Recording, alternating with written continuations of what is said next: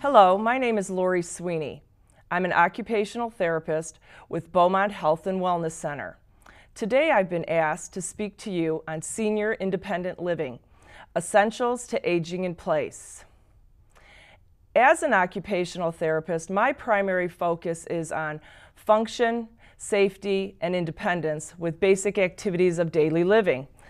My attempts are to always enable a client to live life to their fullest by promoting health and wellness, as well as making recommendations for lifestyle changes and environmental changes within their home, again, to maintain their safety and independence. An occupational therapist's professional background includes a knowledge base in the human body system and disease process, standard medical procedures and precautions, and pain management alternatives, as well as anatomy, kinesiology, which is the study of physical movement, neuroanatomy, neurophysiology, and their practical application to the physical, cognitive, and behavioral health of an individual. The philosophy of rehab is empowering patients to maintain their own health and commitment to healing through an individualized exercise and wellness program, a PRISM approach, looking at prevention, intervention, and sustaining wellness. Aging in place. Aging in place describes a person living in the residence of their choice with a focus on quality of life and independence. It's not about growing old, it's about being prepared for the changes in life, health, and in your environment that occur as you age. Discussion topics I will try and focus on today include activities of daily living, functional movement patterns, proper body mechanics, home safety, adaptive equipment, durable medical equipment, and energy conservation. Activities of daily living. With activities of daily living, an occupational therapist focuses on basic activities or instrumental activities of daily living. And these are the things that we do every day. We may take for granted when we feel healthy and able bodied, but if things start changing, maybe our range of motion is limited, we lose um, muscle strength or sensation, even the smallest tasks are difficult to do. So when I talk about basic activities of daily living, those include bathing, dressing, grooming, personal hygiene, and functional mobility, moving from one place to another. Instrumental activities of daily living include more complex tasks that we routinely do to take care of ourselves or others. Here are just a few things um, that are limited to, that are not limited to, meal preparation and cleanup, grocery shopping, housework, vacuuming, mopping, sweeping, laundry, or yard work. When I see a client for the first time, my primary focus is on talking about proper posturing. I'm educating them in the spine, the normal curvatures of the spine. We have three normal curves, cervical, thoracic, and lumbar. Maintaining these curves, maintaining these curves in neutral, Avoid forward bending at the waist and always encouraging the clients to looking at strengthening their stomach muscles or their core muscles and their leg muscles. Again, now proper posturing with sitting. The, the diagram on the left, I wanted to show you that again, the ears are over the shoulders, shoulders are over the hips, and now the feet are flat on the floor. There is a back support on the chair that I wanted to show you that you may need to actually use or have to maintain that lumbar spine. You also can also um, you also can roll up a towel and um, put that in the low part of your low back. Again, making your own lumbar roll, not necessarily having to purchase items. With standing posture, again, aligning your ears over your shoulders, hips, and ankles, having a wider base of support, and having a slight uh, and having a slight bend in your knees to absorb some of the shock from standing and prolonged weight bearing. Even with select sleeping postures, making sure that if you are a back sleeper, having a pillow underneath your knees, and if you're a side sleeper, having a pillow between your knees. Again, keeping your spine in more of a neutral uh, format as well as your hips and your knees. Functional mobility. Again, sometimes when we're feeling good healthy, able bodied, we take these things for granted. Just actually transferring from a chair or a couch or even climbing in and out of the car. But again, if we're not feeling well or if we have some uh, back pain, some hip and knee pain, we may compensate and use compensatory movements, placing ourselves at risk for an injury. So again, when we're, we're sitting down in a chair, what I'd like for you to do, again, get close to the chair, bend your hips and knees, and then lower yourself onto the front edge of the chair and then scoot back versus just plopping down on the chair. To get up, it's in reverse. Scoot to the front edge of the chair, and then if you have the armrests of the chair or just uh, use your leg muscles and push up on your legs to stand up to and stand up to an upright posture with functional mobility, proper standing posture. Here, again, if you're working at the kitchen sink and you're chopping up some vegetables maybe for lunch or dinner, or you're washing a few glasses, open up the cabinet door underneath the sink and prop up your foot on the lower ledge. Maybe if you're grooming, you're in the bathroom, doing your hair, applying your makeup, or even shaving. Again, if you have a cabinet underneath that sink, open up the cabinet door and prop up your foot on the ledge. It takes the pressure off your spine as well as your hips and knees. Functional mobility, getting in and out of the car.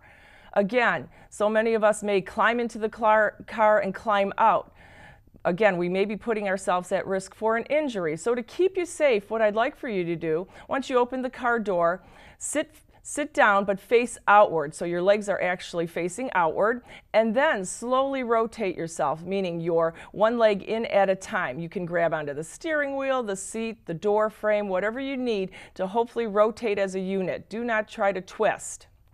So again your shoulders and your legs are moving as one unit to get out of the car, it's in reverse. So holding onto the steering wheel, the seat pan, or the door frame. Again, rotate one leg out at a time, again, and now you're facing outward, and then using those same surfaces to help yourself propel to a standing position.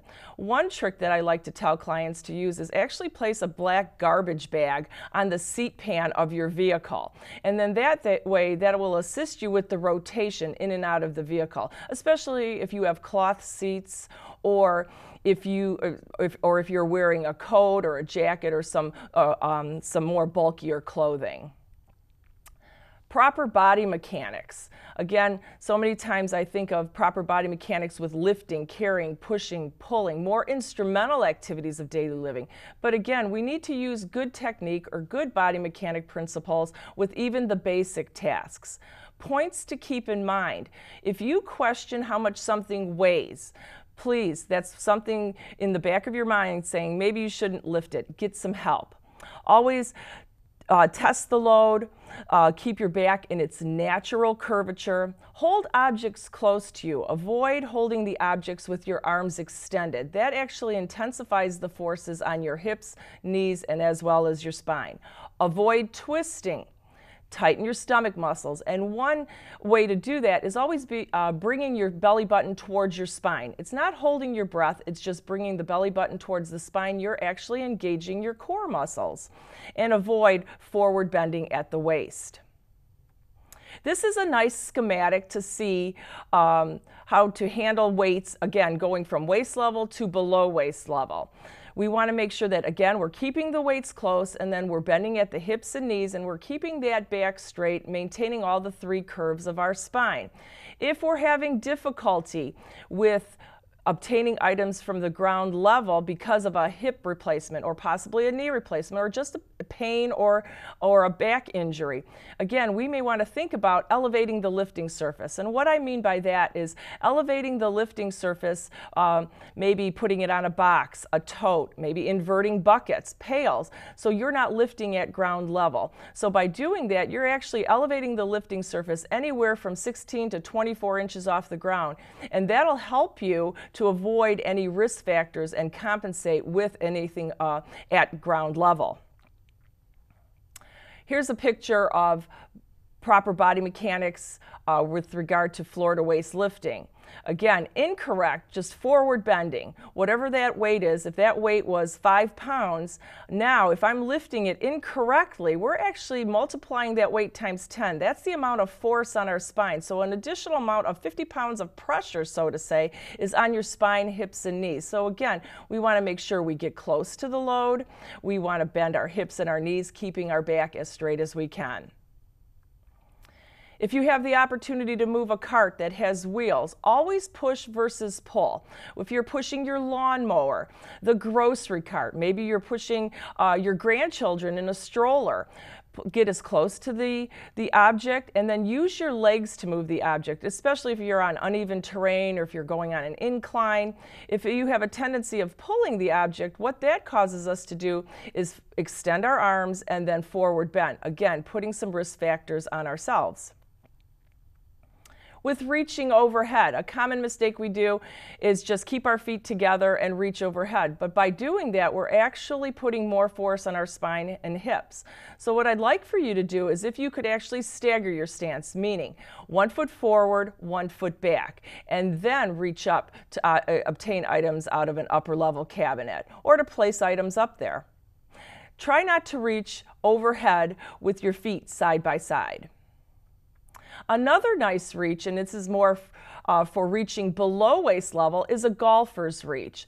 Again, golfers do this um, when they're when they're golfing after they're done putting the short game. So they actually hold onto their putter, their golf club, and they kick one leg back and then they retrieve the ball out of the cup. This is a great reach for reaching below waist level. If you were loading or unloading your dishwasher, your washer or your dryer, or just picking something up off the ground, the one primary issue here is always making sure you have an upper extremity support to hold on to. So you need to hold on to a nearby surface. So if you were loading or unloading the dishwasher, hold on to the counter run, or the washer and dryer, hold on one to one of those appliances with proper body mechanics and vacuuming. So many times we may just stand in one place and let our arm do all the work where we're twisting and turning, trying to cover the surface area.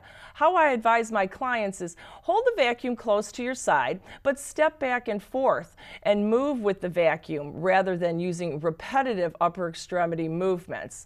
Again, if you, when uh, vacuuming underneath a chair or a table, again, one foot forward, one foot back, and lunge back and forth versus versus just using your arm. With sweeping, trying to avoid overreaching with the broom. So many times, again, we're standing one spot and then we're bringing everything towards us. Why don't we use short strokes towards the body and then also a long handled dustpan? That's very helpful, avoiding the risk of forward bending at the waist to pick up the debris. I advise clients have a long handled dustpan in your home as well as outside because, again, with any of the spring, fall cleanup, or just basic yard work, we don't want those risk, risk factors to be. Uh, apparent, and then we're actually compensating and forward bending. With mopping, again, I advise clients maybe placing the mop bucket in the sink or on a chair. Again, avoid forward bending at the waist. There are now they have a lot of ergonomic mops that are made available to where the wringing mechanism is actually in the handle of the mop. Again, one foot forward, one foot back, step forward and backward to cover the surface area. Home safety. Well, I'm going to start at the entranceway. Remove any doormats or throw rugs. Clear the obstacles from the path.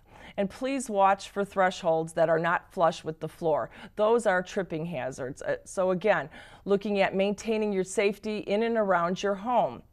We want to make sure that you're not going to fall and then have a potential fracture or any broken bones or, or any broken bones. In the bathroom, please do not use towel bars or a soap dish as a grab bar. Those are not secure enough in case there is a fall in the bathroom. Place non-skid strips or a bath mat on the tub or the shower floor. If getting to the bathroom at night is difficult, please consider using a bedside commode or a urinal.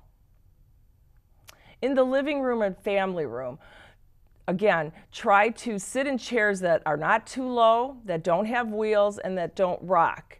Again, area rugs should be backed with non-skid padding or they should re be removed totally just to reduce the risk of tripping and falling.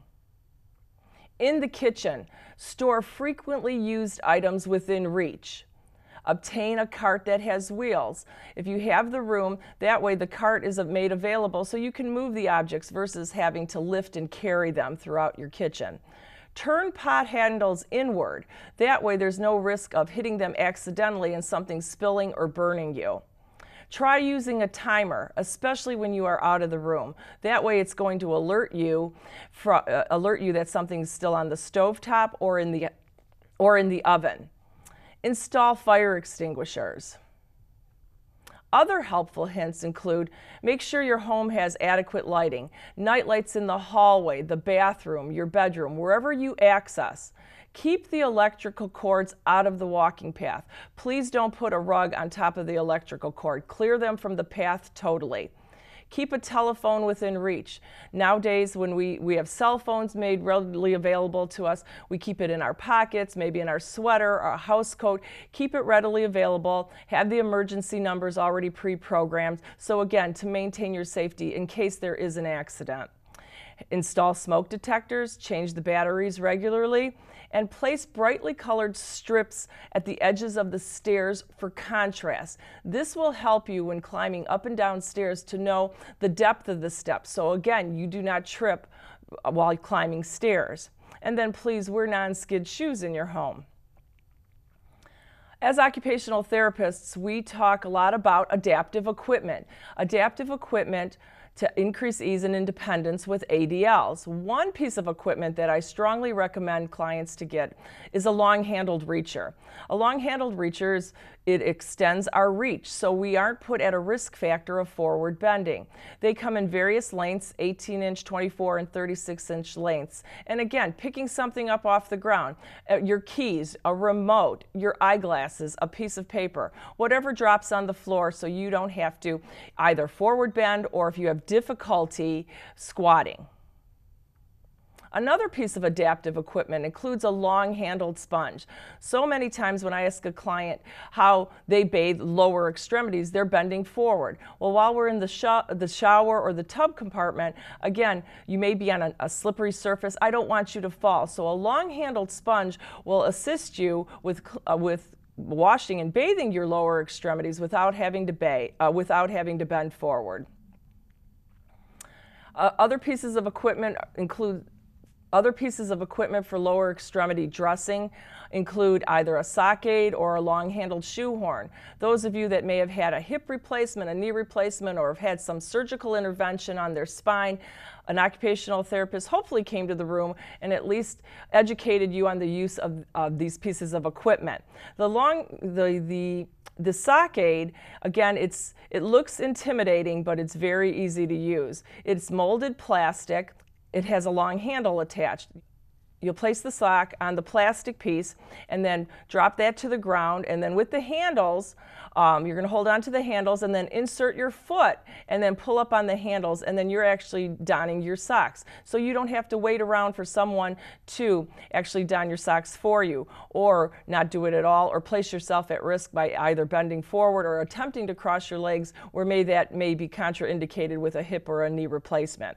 And again, long-handled shoe horns are very beneficial. So many times people will just wear uh, uh, shoes without a back. And that, again, that may not be safe with, with regard to ambulation. So the long-handled shoe horns also come in various lengths to assist you with donning your shoes. The main point to keep in mind with lower extremity dressing is avoid getting dressed while standing bent forward. Sit on the edge of a bed, a chair, and if you can, cross one leg over the other. But if you can't, the pieces of equipment that I just mentioned are very beneficial. Another piece of adaptive equipment I like to uh, instruct clients in is called a button hook.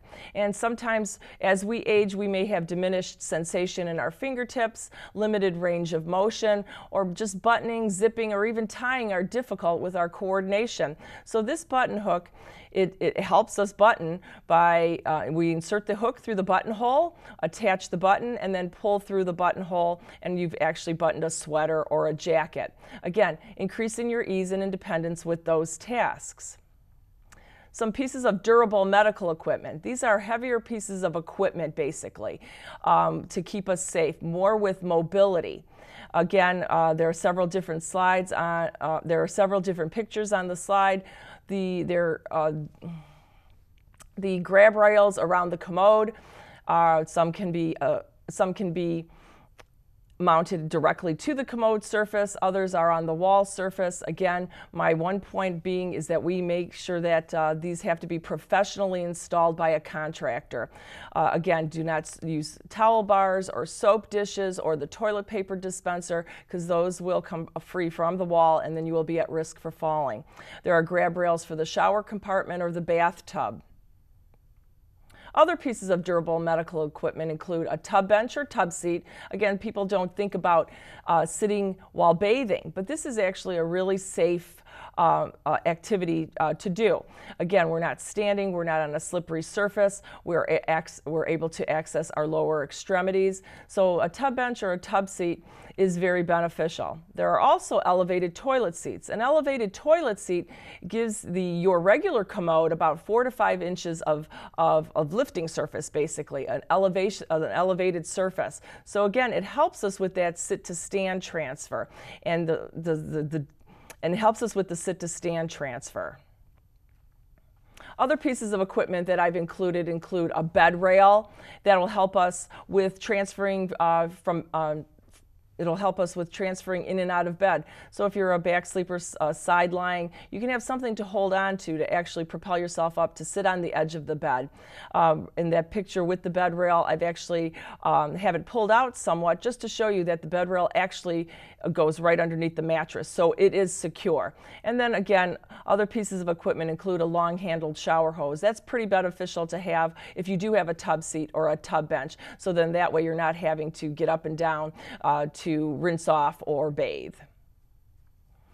Energy conservation. When I speak on energy conservation, I want you to conserve your energy through the day. So again, you're able to enjoy the things that you want to do. So again, if you can think about sit versus stand with performing activities, one of which being just meal preparation. If you're cutting up vegetables, peeling potatoes, why don't you try sitting at the kitchen table? Keep frequently used items within reach. That way, you're not overreaching, you're not having to bend forward, so it's all within your reach level. Uh, if you consider shop by internet or phone have things delivered. Use the laws of physics. Uh, uh, use the laws of physics. Slide objects versus carrying them. Plan ahead. Schedule breaks. Ask for help and manage fatigue. So many times people, they are tired when they're completing the tasks and then they're not able to do what they really want to do. So when you start feeling tired, please rest. Please sit down or lie down. Equipment providers for the adaptive equipment or the durable medical equipment include uh, Beaumont Hospital in Troy and Royal Oak, the home medical, so, the Beaumont Home Medical main showroom and sleep and wellness center. And there is a main number at the bottom of the slide, and they, and they will route you to where the closest facility is to your home. And again, locations of the Beaumont Health System for Troy, Royal Oak, and Grosse Pointe. This concludes my talk on Senior Independent Living Essentials to Aging in Place. I hope it was beneficial for you, and I wish you well, health, and independence. Thank you.